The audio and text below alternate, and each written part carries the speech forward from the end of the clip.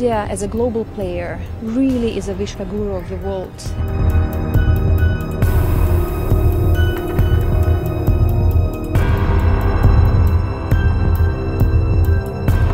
one very important message that Ukraine really wants India and Ukraine come closer.